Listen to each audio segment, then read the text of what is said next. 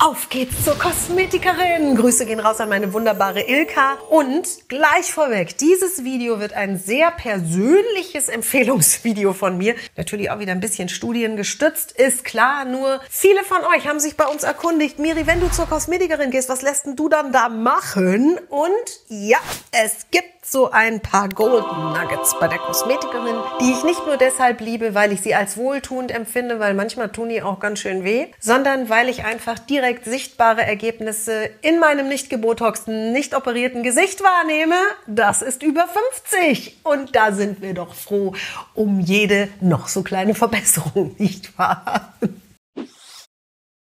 In diesem Video handelt es sich, wie gesagt, um meine persönlichen Erfahrungen und Tipps. Ich freue mich natürlich auch über deine, also ergänze das Video gerne in den Kommis um das, was du so bei der Kosmetikerin machen lässt und welche Resultate du damit schon erlebt hast. Vorweg, wir haben über 3000 Follower auf diesem Kanal. Entschuldigung, ich weiß. Ich soll das nicht machen, nur ich freue mich so. Vielen Dank an euch alle fürs Folgen, fürs Liken, für Video gucken, für Kommentare schreiben. Und es sind in 99,99999% aller Fälle so liebenswerte, tolle, fachkundige, lobende, ermutigende, motivierende Kommentare von euch. Ihr seid eine wundervolle Community. Proud Aging Rules, vielen Dank. So vorweg, ja. Ja. Ich gehe zur Kosmetikerin und ja. Ja. Ich habe da meine Favorites. Und es sind meine Favorites.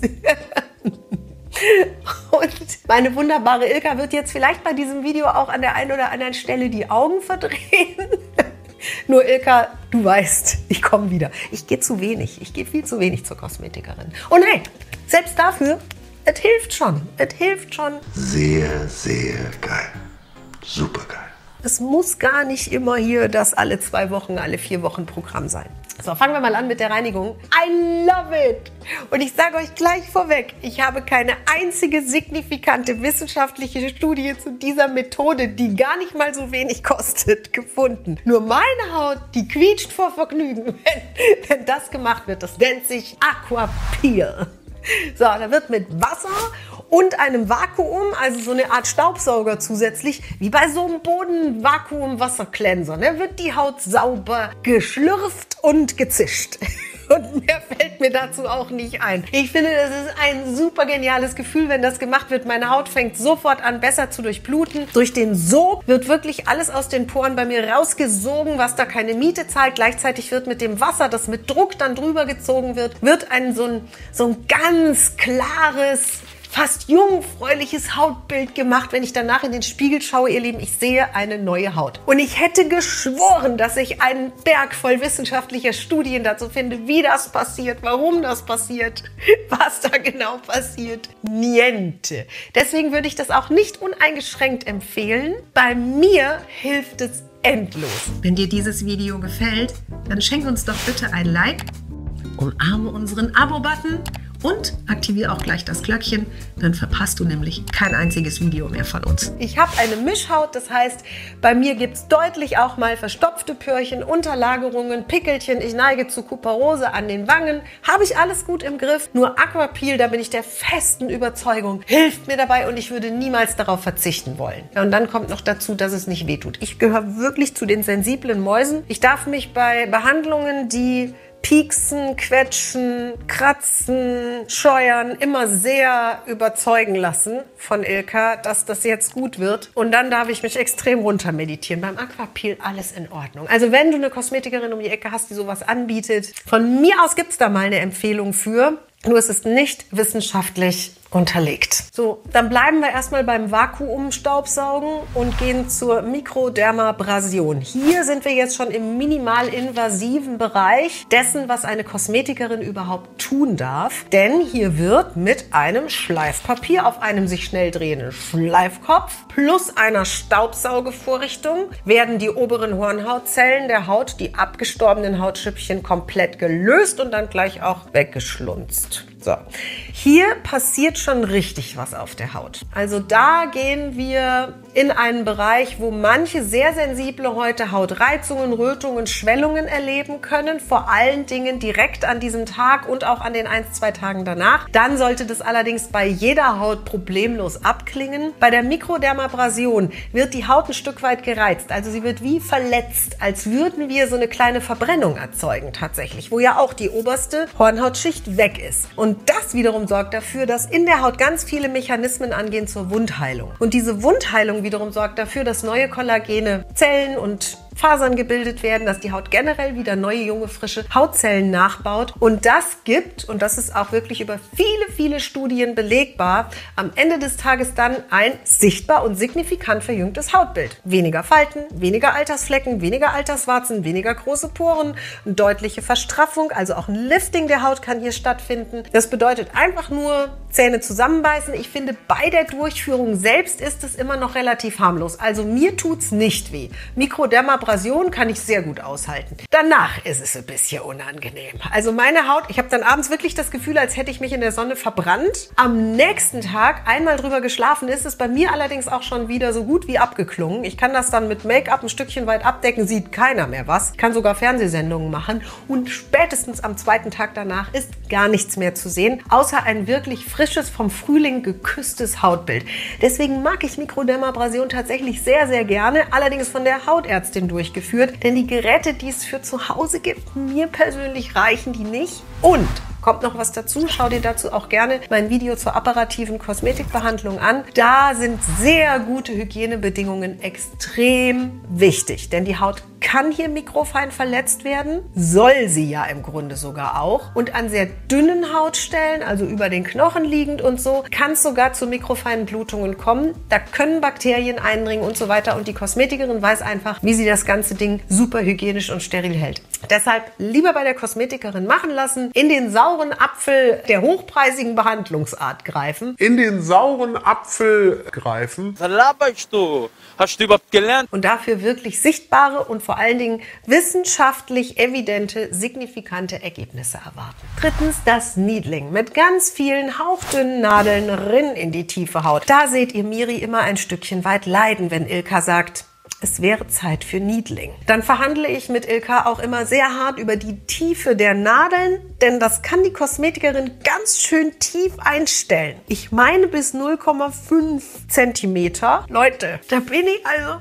Und ey, da sind wir wirklich beim fachmännischen Niedling. Also es hat nichts mehr mit dem zu tun, was du zu Hause mit so einer kleinen Rolle oder mit Niedlinggeräten für zu Hause machen kannst. Die sind gar nicht so tief einstellbar. Die Kosmetikerin hat eine entsprechende Ausbildung. Auch hier wieder Hygiene, Hygiene, Hygiene. Bitte nicht rummurren Murksen an so einer Stelle. Ja, da gehen wir wirklich tief unter die Haut. Da wird mit Absicht die Haut mikrofein verletzt. Das ist minimalinvasiv. Da sollten Experten ran. Also entweder du lässt das bei der Hautärztin machen oder bei einer sehr gut ausgebildeten Kosmetikerin. Was macht das Needling? Im Grunde sowas ähnliches wie die Mikrodermabrasion, nur noch mal stärker. Bei der Mikrodermabrasion gehen wir ja an die obere Hornhautschicht. Hier gehen wir durch die obere Hornhautschicht in die Tiefe der Haut. Diese kleinen Nädelchen verletzen die Haut da ganz klein und dann geht die Haut sofort in den Heil Heilmodus. Also alle diese ganzen Immunhelferzellen werden aktiviert. Es gibt Notstandalarm. Die Haut dreht einmal hoch. Das ist dann auch währenddessen und danach schon zu sehen. Sie vermeldet Schmerzen, sie vermeldet kleine Reizungen, sie erzeugt Hitze, sie erzeugt ein richtiges Wundheilungsverhalten. Nur das ist eben genau die Stelle, wo,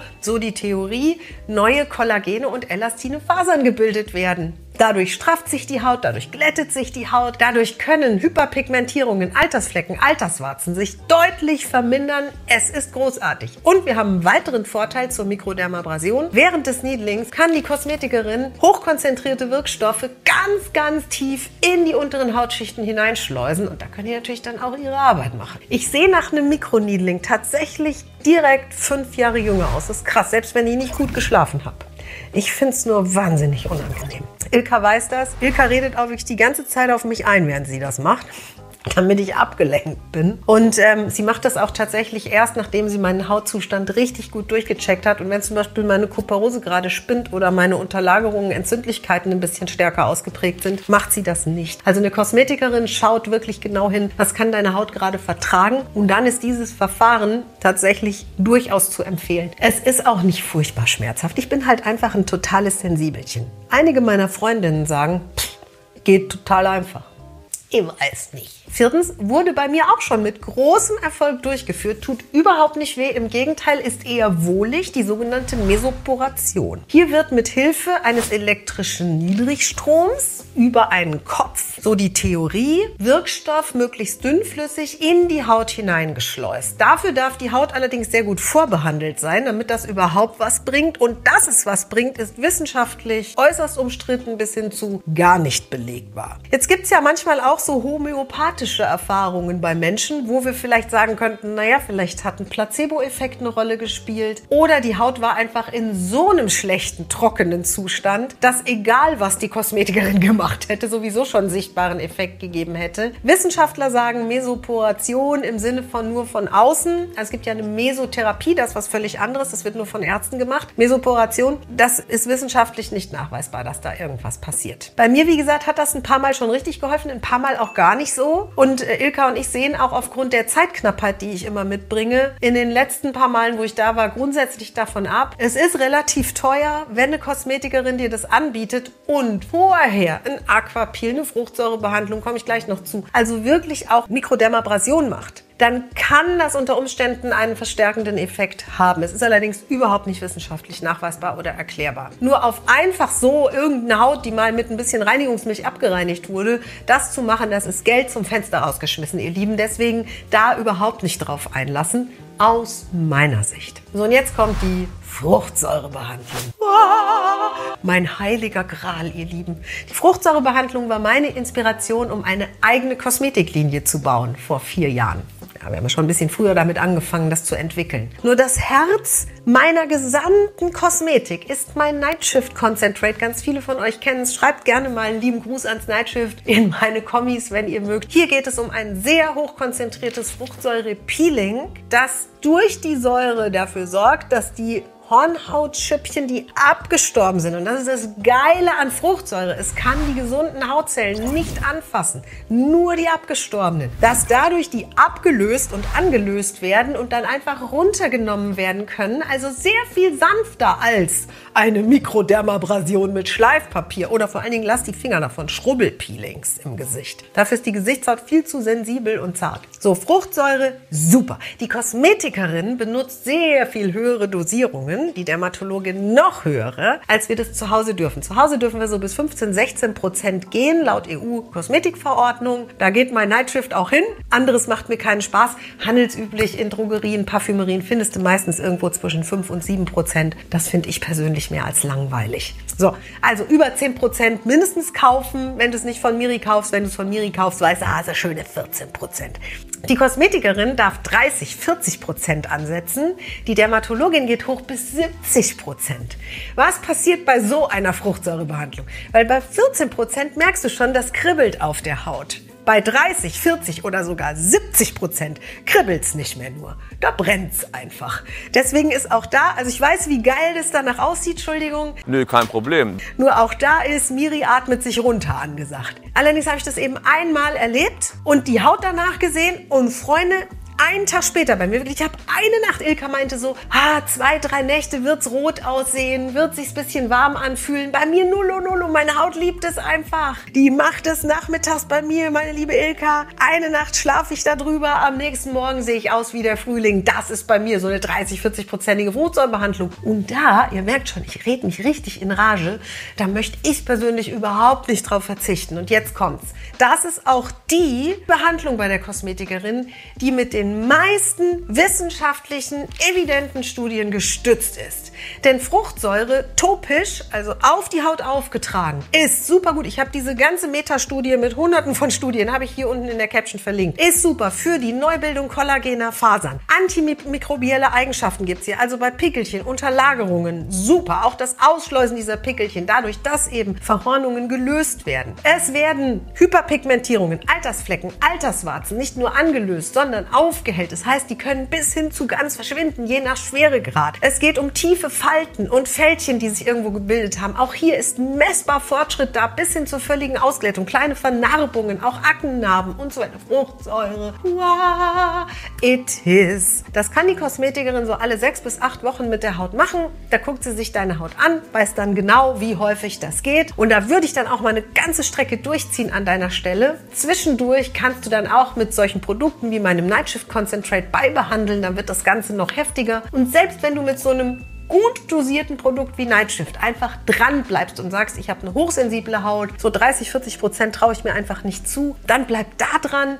Da darfst du halt nur ein bisschen Zeit draufsetzen und sehr regelmäßig das benutzen, eins bis zweimal pro Woche, wie eben so ein Peeling verwendet wird. Wunderbar. Kosmetik bei der Kosmetikerin kaufen. Ist das eine gute Idee? Weil meistens geht das ja ein bisschen tiefer in den Geldbeutel. Jein. Denn die Kosmetikerin kann schon andere Produkte anbieten, als du sie im Einzelhandel, vor allen Dingen in der Parfümerie oder der Drogerie regulär findest. Es gibt allerdings ein kleines aber gerade bei, ich sag jetzt mal den normalen Pflegeprodukten wie Gesichtscreme, Augencreme, wäre ich bei der Kosmetikerin jetzt eher mal sparsam, vor allen Dingen, wenn das Geld nicht ganz so locker sitzt. Ansonsten hilft auch hier wirklich mal ein Blick auf die Inki, weil da gibt es Unterschiede. Es gibt ganz tolle Produkte, die dann eben einfach auch ihren Preis haben, weil sie in der Kabine mit fachkundiger Beratung verkauft werden. Und es gibt eben auch Produkte, wo ich sagen würde, naja, also da kriegst du dann für 10, 15 Euro was Adäquates auf dem freien Markt. Wo ich bei der Kosmetikerin Bloggerin immer neugierig bin und wenn Ilka was Neues hat, dann sind das Ampullen,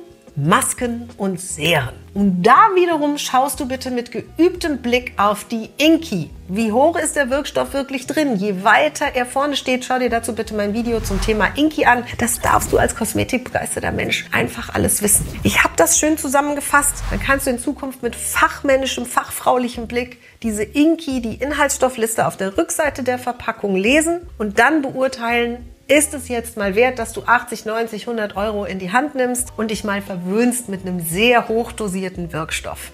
Auch gerade bei den Masken hat die Kosmetikerin häufig vom Feinsten. Auch da lohnt es sich mal, sich ihr Repertoire vorstellen zu lassen. Und die Kosmetikerinnen freuen sich in der Regel auch, wenn du als äh, Kundin ganz proaktiv sagst, was hast du denn gerade für Masken da? Darf ich mir die mal in Ruhe anschauen? Und keine Kosmetikerin, die was auf sich hält, lässt dich nicht mit der Lupe auf die Inhaltsstoffliste gucken. Das findet die sogar spannend, mit dir da in den Diskurs zu gehen. So zumindest meine Erfahrung, wenn du dabei freundlich bleibst. Zudem kommt, wenn du eine Behandlung machen lässt, wie Mikrodermabrasion, Fruchtsäurebehandlung, Needling, wo die Haut tatsächlich auch ein Stück weit verletzt wird. Da hat die Kosmetikerin sehr gute Nachfolgeprodukte für die unmittelbare Reinigung und Pflege dieser dann ja etwas versehrten, gereizten, im Grunde sogar verwundeten Haut. Da solltest du nämlich vorsichtig sein mit irgendwelchen Reinigungsprodukten, irgendwelchen Cremes. Da weiß die Kosmetikerin genau, was gut ist. Hier allerdings, wenn sie dir dann Produkte aus ihrem Sortiment empfehlen kann, reichen auch die Reise- oder Probiergröße Größen, die gibt es sehr oft. Frag da bitte danach, denn du brauchst die höchstens drei, vier, fünf Tage lang. Dann kannst du wieder zu deiner normalen Pflegeroutine übergehen.